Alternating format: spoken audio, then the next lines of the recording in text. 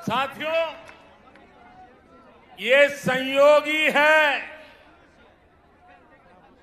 कि अंतर्राष्ट्रीय महिला दिवस से एक दिन पहले मैं बंगाल की इस पवित्र धरती को प्रणाम करने आया ये वो धरती जिसने माँ शारदा देवी मातंगिनी हाजरा, रानी रासमोनी प्रीति लता वादेदार सरदार देवी चौधरानी, कामिनी राय जैसी अनेक अनेक होनहार बेटियाँ भारत को दी। ये मेरा सौभाग्य है कि बीते छह साल में केंद्र सरकार की हर योजना के, हर योजना के केंद्र में हमारी बेटियाँ रही है, हमारी बहनें रही हैं हमारी माताएँ रही हैं। आज गरीब को अपना पक्का घर भी मालकिन के नाम से ही मिल रहा है।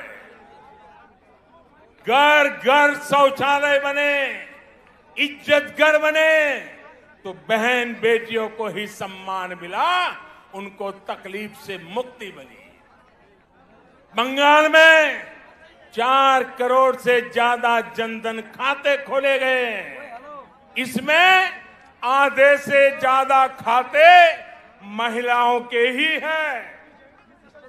हमने जब मुद्रा लोन देकर नए अवसर दिए तो इसका भी लाभ लेने वाली 75 प्रतिशत महिलाएँ ही है।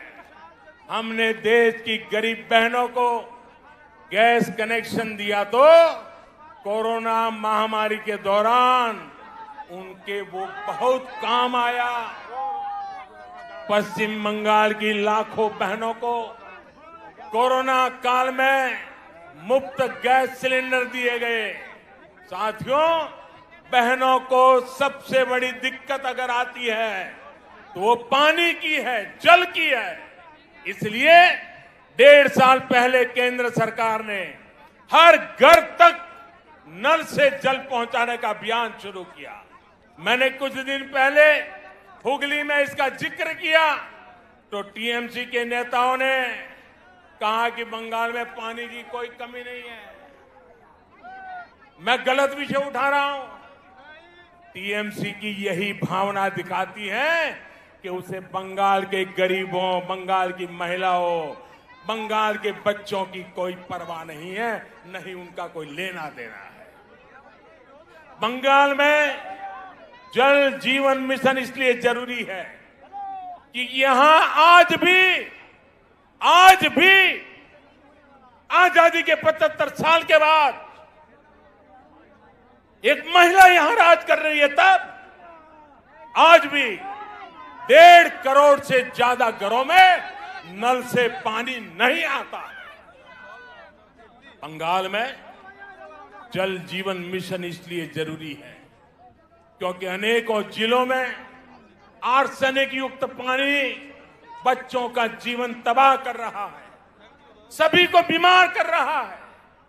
क्या गरीब की चिंता करना, गरीब की सेवा करना क्या हमारा कर्तव्य नहीं है? क्या गरीब कर भी राजनीति करेंगे? लेकिन अफसोस अफसोस है साथियों, कि देश में टीएमसी सरकार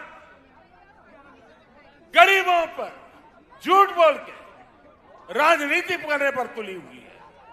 हर घर जल पहुँचाने के लिए केंद्र सरकार जो पैसे भेज रही है उसका बहुत बड़ा हिस्सा आज तक यहाँ की सरकार खर्च ही नहीं कर पाई है।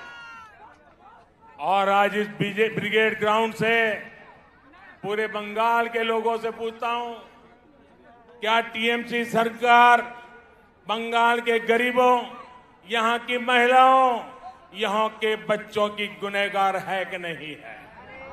गुनहगार है कि नहीं है? गुनहगार है कि नहीं है? इस चुनाव में उसे सजा मिलनी चाहिए कि नहीं मिलनी चाहिए? चोरों से सजा मिलनी चाहिए कि नहीं मिलनी चाहिए? साथियों, एक और योजना है। ऐसी कितनी ही योजनाओं का पैसा यहाँ की राज्य सरकार तिजोरी में रख करके बैठ गई है। दीदी, जैसे ठान कर चल रही है कि न काम करेंगे, न करने देंगे। आप मुझे बताइए, ऐसी सरकार को हटाएँगे? ऐसी सरकार को हटाएँगे? ऐसी सरकार को हटाएँगे?